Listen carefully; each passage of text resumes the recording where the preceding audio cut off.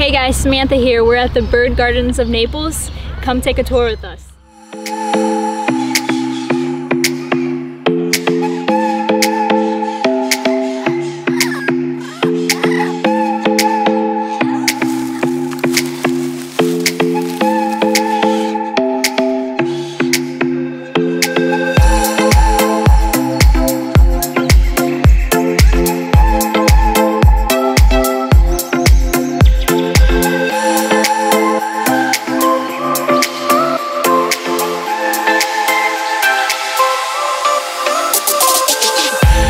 Guys, I'm here with Carrie. We're at the Bird Gardens of Naples.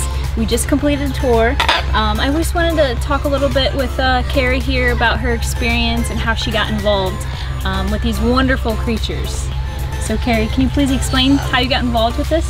So we moved to Naples years ago and I used to have birds in the pet trade and we decided to open a sanctuary for some of the older breeder birds.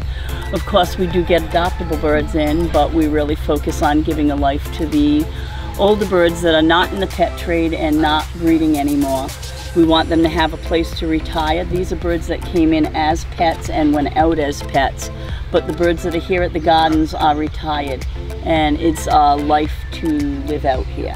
These birds have very long life expectancies. So one of the main things we do see with the pet birds is them outliving their owner's ability to care for them.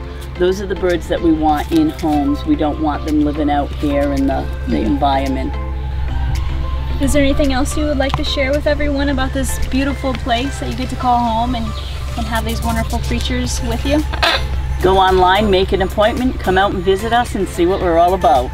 Once again, we're here at the Bird Gardens of Naples. I'm here with Carrie, Samantha. Um, please come out, visit, see these wonderful creatures, meet Carrie, go on the tour. It's free. Uh, contributions are definitely welcomed and appreciated. Thank you.